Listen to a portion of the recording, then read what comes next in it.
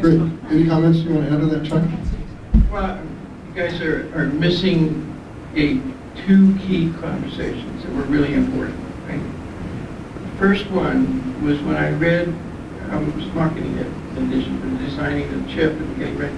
And I read on the, one of these sheets that my uh, marketing guys had, Grass Valley, California. I said, what the hell is in Grass Valley, California? So I call up and I get to meet Joe LaCroix by the phone. Joe Decuir is in the back. Joe's back there. And Joe said, why we, we knew we were gonna go to WESCON and produce it, right? So we did, we went to WESCON, and, and if you don't mind, half a story about the introduction of 6502. We had advertised in the local, um, technical magazines that we would sell a twenty-five dollar computer on this floor at this computer, the semiconductor. And we got to the show, and they said, you can't sell anything on the store. right? So I took a suite in uh, St. Francis, called the MacArthur Suite, and Steve Jobs came over, and Joe LaCour came over, and a whole bunch of other people came over to the suite, and bought for my wife a 6502, two manuals, and they, we sold them out of a big jar. right? But the only working ones are at the top of the jar.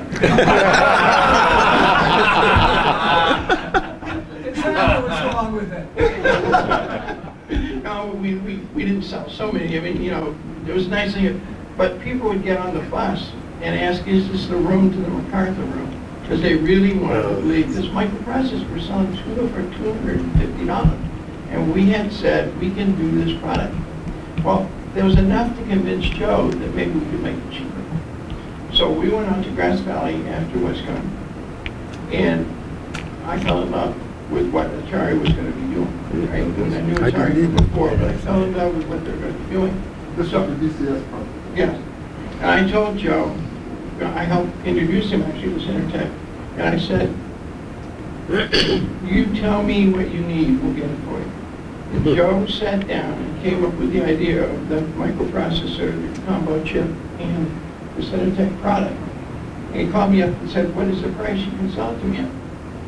And Payment and I went, we, and go over many of these, by the way, the same. And I Payment and I said, and we said, we think that they can afford twelve dollars. So we put twelve dollar price tag on these two chips. And it was enough that Joe was able to convince Al and those guys, let's go do this. And they created an entire industry Industry, yeah. that day. Okay? Wow. Yeah. And, uh, I didn't know that. You know, Synertek was wonderful. The guy, uh, Kenny Bear, the guy who did the chip design. Miner, yeah. Jay Miner. Jay Miner. Did the design. And we Teddy Bear. had a product that was going to blow the world away. And the nice thing about it is all the semiconductor guys thought, this is the trick I want to think about. Atari got stolen, and he didn't even mention it before.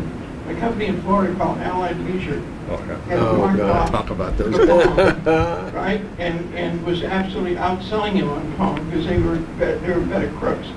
Yeah. Well, they, they, they actually had a factory. Well, They actually had a factory, yeah. No, no, but I know how the point was, they really were crooks. Oh, yeah. Sure. And, uh, they were out of that end of the business, okay? Yeah. And, uh, so, Atari said, we're not gonna let this be stolen, right? We wanna get the guys hidden up in Greenwich Valley. So they swore each of us to a, to this thing. And then they did something very dirty to the rest of the industry. They told Intel, Motorola, each one of the semiconductor company, we've designed you in. Please put your applications engineers in getting this thing working. The day they told those guys that we were gonna get the contract, Motorola sued my company, because we were all ex-Motorola guys. Oh, Right, Spent a man. couple million dollars defending themselves. But we were right. It was a great product. Well, that, Oh, one last comment. We built an entire industry again around that called the personal